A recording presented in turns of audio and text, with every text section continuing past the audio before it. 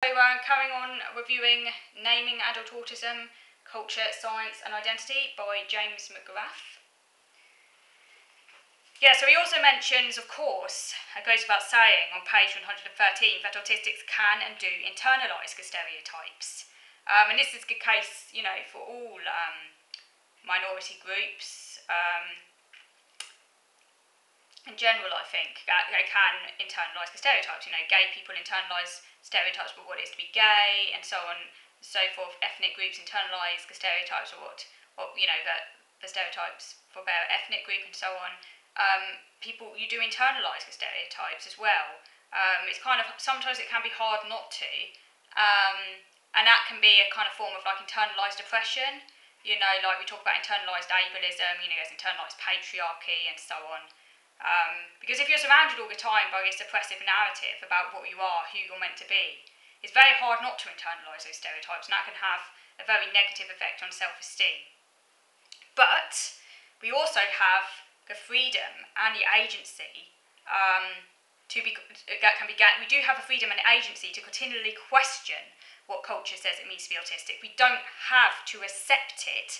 We can answer back um, we can put forth our own views. We don't have to agree with what culture says it means to be autistic. Because we're the ones, I'm talking here when I say we, I'm talking, you know, I'm referring to other autistics, but we are the ones who are actually experiencing autism. We are the ones who are actually living it day to day. Um, so we are, in a sense, the experts on our own autism obviously I can't speak for other autistic people because I can only speak for my own autism and what I experience. Other people have their own, uh, you know, um, experiences of autism, but all of our voices should be heard. You know, no one should have a monopoly because there's no, um, you know, no one should have a monopoly on what autism is because autism isn't one thing. It affects people in so many different ways. So we can question the stereotypes. We don't have to accept them, and that can be empowering when you realise that because it can be really harmful to your self esteem and stuff. Um, you know, because taking on those stereotypes, I know it's all too well, it can be very harmful to your self esteem. But at the same time, we can practice kind of answering back to the stereotypes, and that can make us feel good about ourselves when we do that. Um, you know, you can educate people. You can tell them they're wrong. Basically, you don't have to accept what they say because they're not li- they're not walking in your shoes. Yeah. So I think that's something that's really important there that McGrath says. Um, and then he also he, he also refers to some more positive, empowering autism stories. For example, for UK poet Joanne Limburg's The Autistic Alice, 2017. I haven't read it. I might read it at some point. Um, but um, James McGrath really likes um, The Autistic Alice. Uh, this is Joanne Limburg's collection of poetry about being autistic. Um, and it's based on uh, Alice's Adventures in Wonderland, where Alice is recast as autistic. So in this version, the Red Queen in Alice in Wonderland is cast as the embodiment of a neurotypical adulthood, the personification of established authority. Um, and um, Alice is ridiculed for her slowness, um, her tardiness, and her slowness um, in, in the way she walks and runs and dances. And this is the Red Queen tells her off for this. It's made out as though it's a problem. Um, but instead, the problem really is that Alice is continually compared with her peers. It's not that there's anything wrong with Alice for being slow, for um, you know, not walking as fast as her peers, not running as fast as her peers, not keeping up with her dancing. It's there's no there's nothing wrong with that. It's the problem here is the way that she's being compared with her peers because everything becomes comparative in this oppressive um, sort of world that she lives in. Um, and the Queen's focus is confined to the physical outward appearances. She has no interest in Alice's feelings whatsoever. Her only interest is that Alice is how Alice compares to her peers. That Alice is not keeping up with her peers. That there's something different about Alice. That's the only thing that concerns the Queen in her very sort of narrow vision. Um, so it's similar here to um, Carroll's original tales, which highlight the nonsense of so much that becomes elevated as normal, you know, because that was the whole point of um, the original Alice tales, you know, was um, holding a, uh, a ridiculing, a kind of parodying uh, lens up at society, kind of, you know, highlighting the flaws of conventional society and the absurdity of it, making me actually quite like to go and read Alice in Wonderland again, actually, I haven't read it those tales for a long time. Um, but actually, McGrath suggests that it's a neurotypical, neurotypical in inverted commas, queen whose understanding of others is impaired, which is ironic.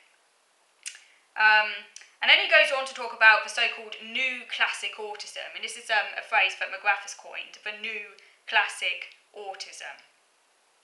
Because when we think about classic autism, what usually comes to mind is how autism used to be um, uh, represented, as it were. Um, the sort of old image of what autism was, um, which um, you know was usually a child who and it was usually a child because obviously autistic people grow up to become adults, but the focus was usually on children. It's your child, it's usually a boy who uh, had minimal speech, sometimes no speech, um, was often uh, intellectually impaired, um, and displaying very obvious behaviours that you couldn't ignore. Um, that was kind of what that was what autism was considered to be in the early days when autism first came to people's awareness. So that's why it's called classic autism. You know, in referring to the fact that that was like the original kind of paradigm, as it were. But McGrath, um, with regards to new classic autism, he actually says that the narrative has shifted now so much um, towards uh, elevating a representation of autistic people who are extremely able um, and often to the extent of having remarkable gifts.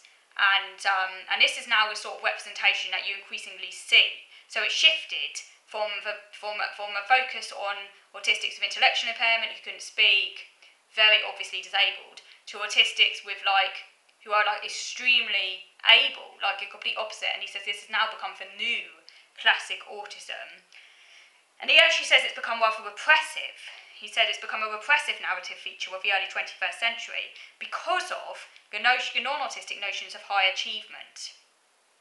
It's um, um, cultural standardization and idealization of high achievement. So that the idea is that you're only acceptable as an autistic person if you meet the cultural um, uh, the cultural sort of ideal um, of like high achievement.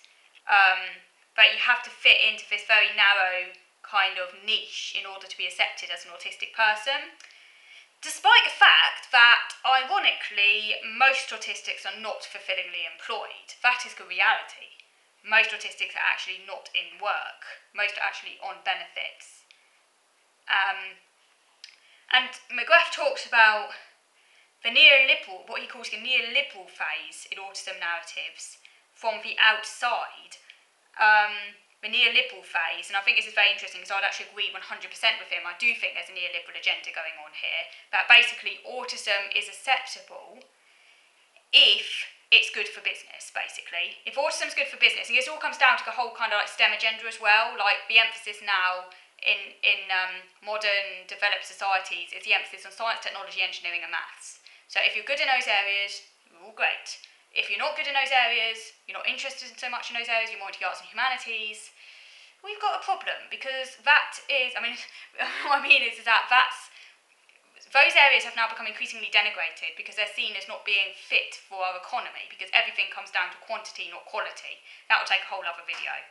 Um, but yeah, so basically, because of this um, Simon Baron Cohen emphasis on autistics all being good at STEM subjects, which of course is a load of crap, as I mentioned in my other video, um, if um, there's become this kind of like cultural kind of almost glorification of autism as meeting this economic requirement.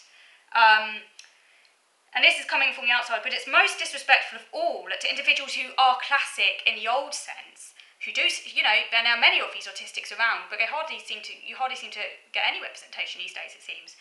Um, in the original sense of facing extreme impairments in what society deems as the norms of intelligence and language. It's almost like they've vanished off the scene you know, because they're not, maybe because, you know, they're just not economically lucrative, um, which is absolutely appalling. You know, it shouldn't come down to that. It should come down to the fact these are real people with lives, with stories, and, and all the rest. But if you don't fit into that neoliberal glorified niche of being great at STEM and good for business and good for the economy, we don't want to know. That's what it seems to be at the end of the day, and uh, I, I, completely agree with James McGrath about the problem with this. Um, so yeah, the cultural fetishising of high achieving white male, and it's usually white male as well. Women again tend to not to get much of a hearing.